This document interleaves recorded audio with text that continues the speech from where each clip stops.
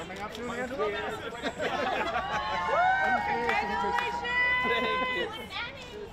I mean, what an opportunity it was to come out and and put on a show. Like who knew? Who knew the access and the beauty of that?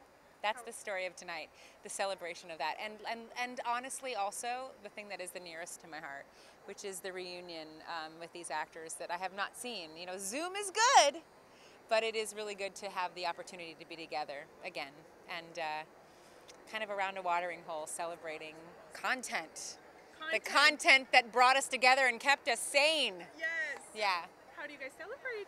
We celebrate with, um, well, right now that I don't have to wear this dress, beautiful dress anymore, burgers, fries, shakes, and maybe a hot tub somewhere. That sounds fantastic. you guys have a great time. Thank you. Thank you.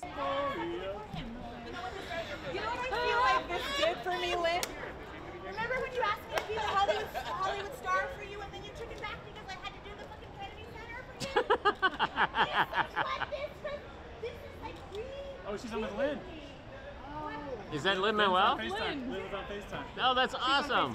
Oh my oh, goodness. yes. As soon as we walked off stage, the beautiful Lin Manuel Miranda was there, just with tears bursting in his eyes, saying he wished he was here. He's literally. He's finishing a movie, but he's all may, maybe more than one. But he is he has spent the last week putting up seven companies of Hamilton.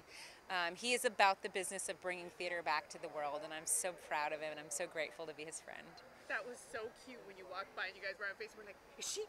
Is that Lin? It's literally Lin Manuel Miranda calling my phone. It makes me feel very important and very loved. That's so awesome. Yeah. Congratulations, Mama. Thank you. you. so much. Thank you.